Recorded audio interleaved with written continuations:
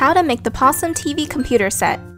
Hey guys, welcome back to Pawesome TV! So I've been getting a lot of requests on how to make my computer set, so today I'm going to show you how with this DIY. The supplies you'll need are a glue stick, a pair of scissors, and some white foam paper, or you can use a cardboard if you don't have any. First, we're going to print out the computer set that I made for you guys, and you can find this on my website at pawesometv.com. I'll also leave a link below so you can click on it.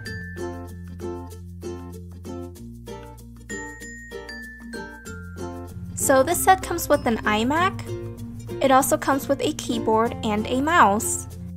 Now we're going to cut all the pieces out.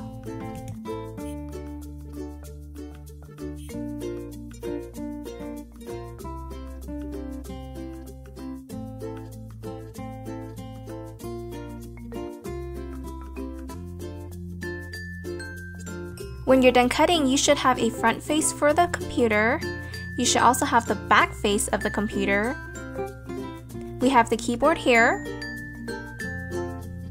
The mouse, super cute mouse. And we also have this rectangular shape and I'll let you know what we're going to do about this later. We're going to place the front face and the back face of the computer together just like this and we're going to trim off any excess that we have.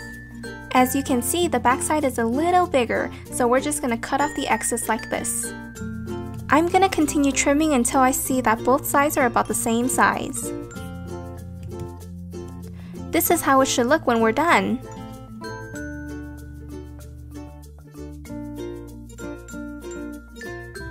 Now we're going to take one side of the computer and we're going to glue it to the foam.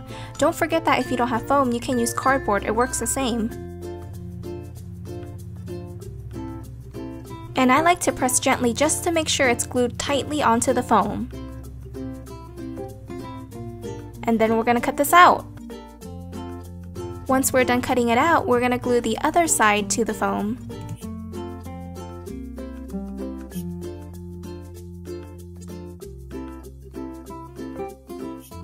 When you glue this side on, be sure to make sure that it matches with the other side.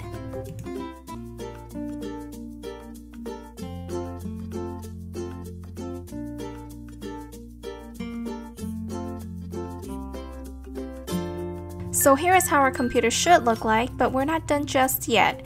We're to have to repeat the same steps with the keyboard and also the mouse, so we're to glue it and we're to cut it out.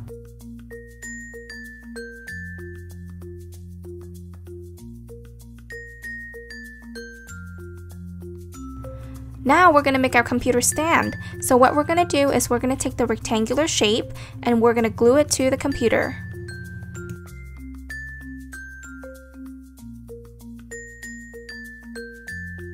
Hold it for about 10 seconds so it can dry. And we are done Pawesome fans!